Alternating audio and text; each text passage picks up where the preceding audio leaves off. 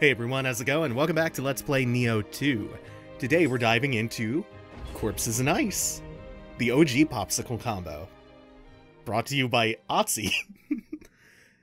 Anegawa is a river originating at the foot of Mount Ibuki and flowing into Lake Biwa that divides the north and south areas of the Azai clan's domain.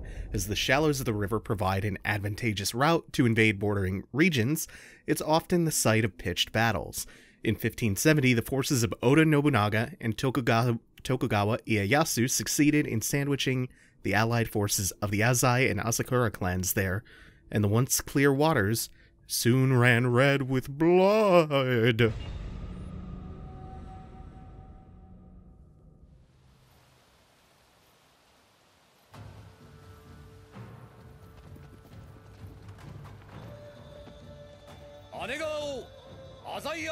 ちで染めよう。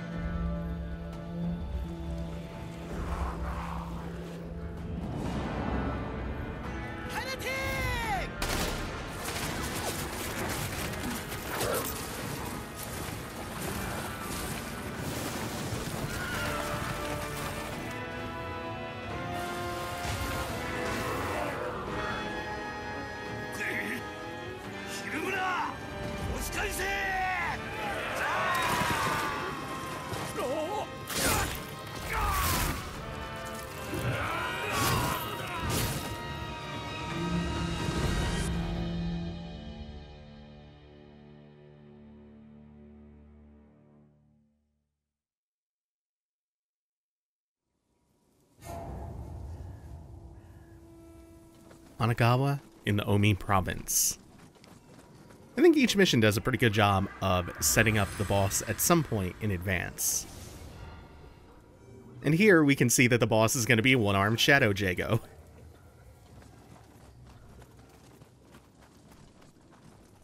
And after wrapping up a couple of things with her narrative, with her uh, character arc last time, Mumyo is actually going to be joining us for this fight.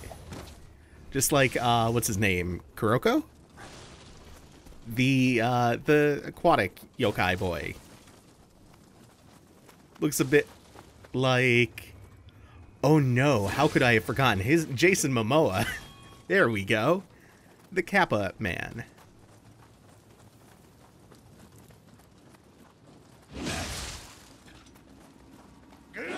I'm just gonna draw this one out. The other one's totally oblivious to us. Oop, oh my god, that might get me grabbed. Nah.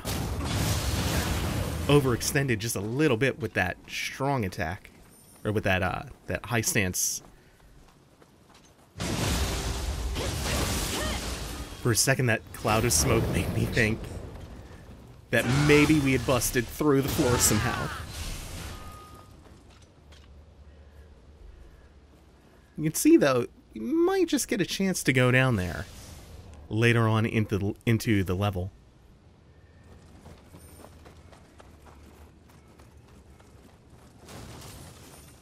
For now, we take the ground floor approach.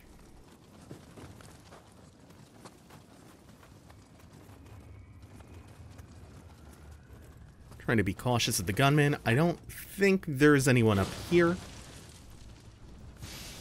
But we do get a vantage point on a section that's a little cut off from us. Uh, so we can just do a little bit of sniping. Doesn't even fully finish him off, but weakens him enough. Draws a few of them out. So we can deal with them one by one. Dealt with that one just in time. This one to arrive. Oh, and his injured friend is here. Yeah, we'll let Mumyo take that one. Finish him off. And then get a little 2v1 going. Get a little power play. I think there might be a Kodama up here, or somewhere around here. I no, wait, that's the Scampuss, the kitty. Oh, and we can we can finally see what they're saying.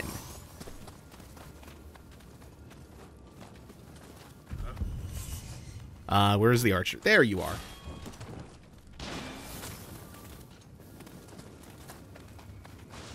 We're gonna ignore him for a little bit. Because uh, I think there's some other problems that we might want to deal with first. Eh. actually were free to deal with the archer. That is just so much overkill. Oh, hey, it's been a while since we saw a Mujina. What do we got?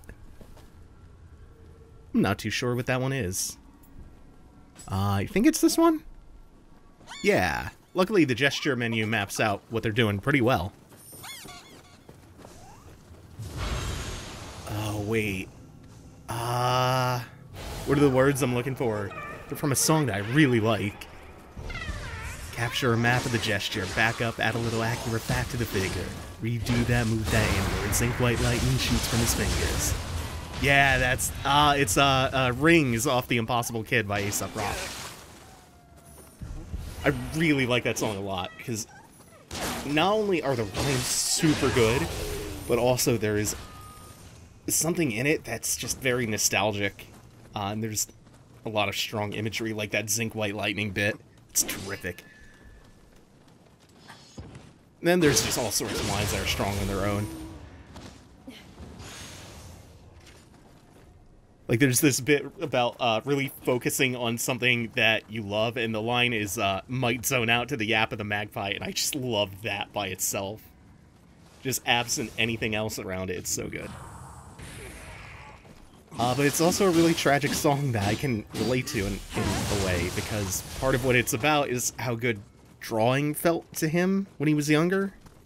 Like, it was his whole life, but it's also about low self-esteem, and the song even starts, uh, used to draw, hard to admit that I used to draw. So each of these gorgeously detailed, imagery-filled verses ends with something like, um, uh, routine day with a dirt cheap brush, then a week goes by and it goes untouched, then the, um, fuck, what is it? Then two, then three, then a month, then the rest of your life to beat yourself up. It's all about being too hard on yourself to the point where you fall out of love with things that made you happy in the first place. And I've I've felt that a lot in my life, but like I said back in that uh, fairly recent Control video, uh, I want this next verse of my life to have a happier arc than that. Ooh, ooh, ooh, ooh! I was right on the edge of that first hit. Uh, he down Mumyo, but I think we can deal with this alright. He's not being too aggressive, so we have time to get her up. Okay, we're good. Ooh! Still not too bad. Just have to make sure that we don't give him a chance to shoot us again.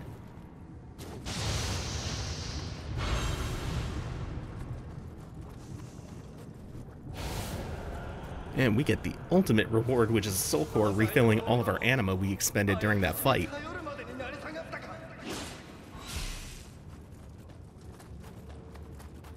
Fortunately, that yokai was not the uh, primary generator of the Dark Realm here. It is this Enki. We already broke him. That means we're going to get a finishing blow too. Yeah, just like that. And since the Archer also dropped the Soul Core, even better, Enki dropped it too.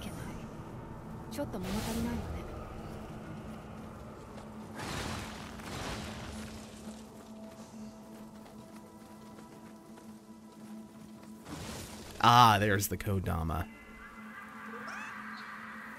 Come over to my place. You can actually invite the Kodama into your hut in this, which I think is adorable.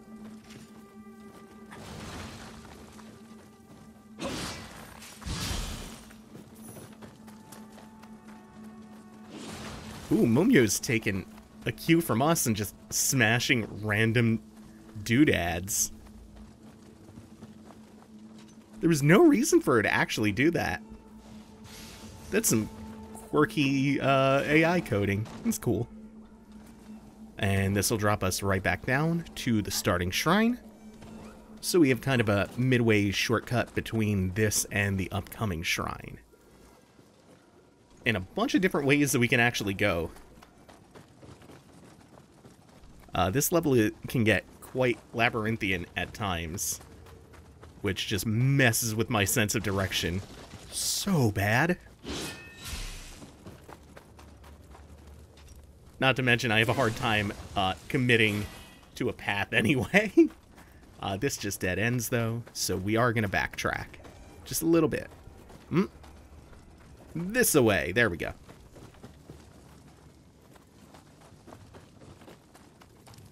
Forks within forks. I think when they let the contrast drop a little bit in this level, it gets really, really cool and gloomy.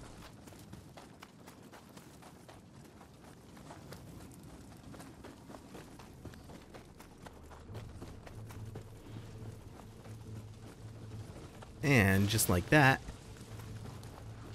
you gotta be a little bit careful fighting the big skeleton here, especially with his tendency towards quad spinning. As long as you don't get knocked off by that, you're pretty safe. There's nothing else that's too threatening on this bridge.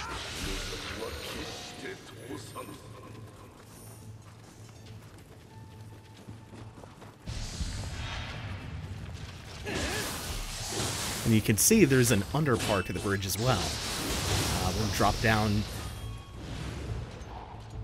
to get a few things down there in just a second. I just... No, I just want to loot this body. Please. Please, Bloody Graves, why are you like this? Alright, and from here, we can just drop down. I think there's also a ramp behind... Yeah, because otherwise there would be no way back up. Uh, the Gaki here do not pose any significant danger because you can knock them off so easily. In fact, a lot of enemies in this level are going to be getting the cliff.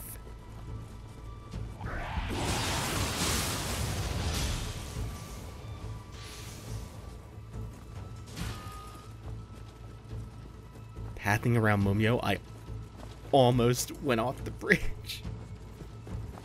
I had a small heart attack. Because I wasn't expecting her to be in my way. And I think with that, we should actually be pretty close to the second shrine of the level. Uh, it's still pretty early on in the episode, so we'll go a bit past that. Uh, but with that second shrine, Mumyo is going to be departing.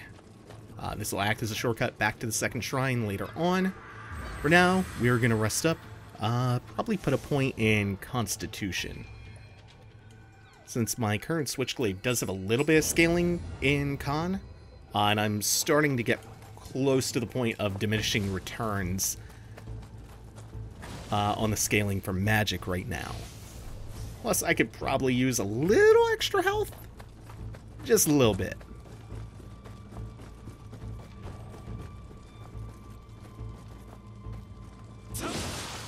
No, I don't want him alerting the three down there.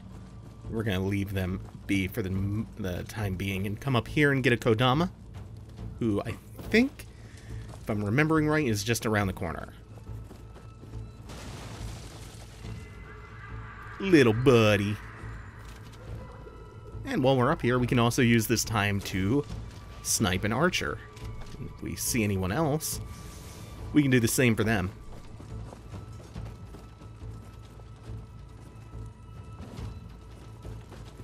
Because this level is essentially an intricate little series of passages, uh, we don't necessarily have to be done with this floor just yet.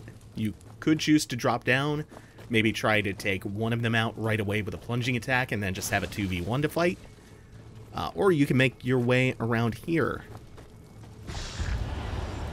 into the Dark Realm. Oh, I hear the other one aggroed. Uh, we're gonna come... Yeah, this was a good decision. We're gonna come out here for a moment. And... Wow, it fit through the door doing that. Doing its Psycho Crusher. Uh, this is gonna be an awkward spot to fight this thing in, so... Oh, Really wanted that to land. There we are. Oh, no, no, no. This might get some of this recovery going.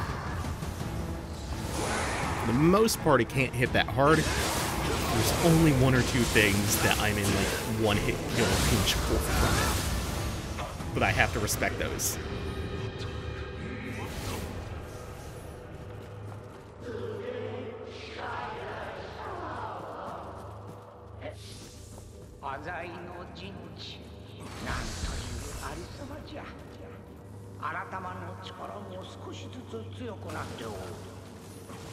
Who just aggro? Oh!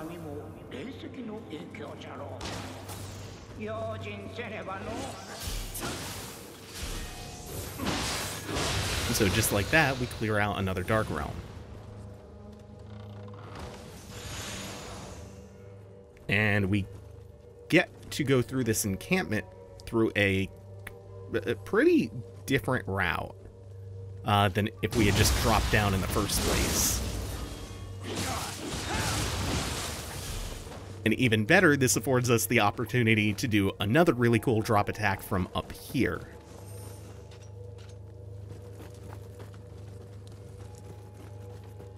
Uh, so you can see right below there are there's at least the one down here, but concealed beneath the plank that we're standing on is actually a second dude. Oh yeah, we got the good stuff. Both at once. Mmm, feeling it now.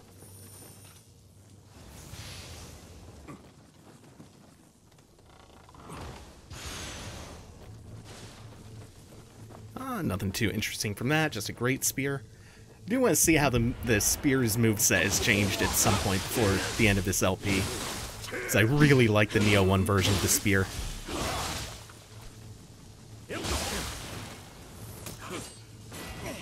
It was my pocket weapon next to the kusarigama.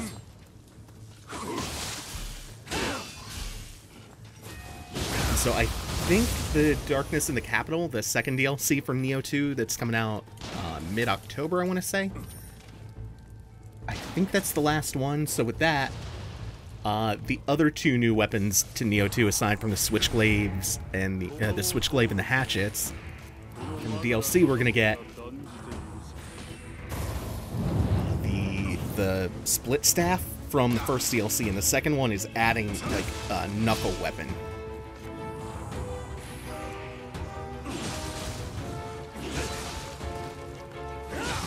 Ooh, this is dicey. Okay, now we're good.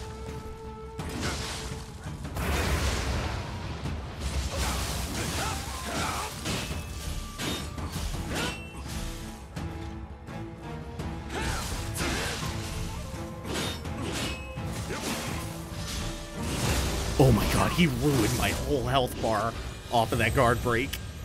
Yeah, the enemies do get their own finishing blows on you if they run you out of stamina. Whew, I think that's gonna do it for now. Thank you all for watching. Take it easy. Have a good one, y'all.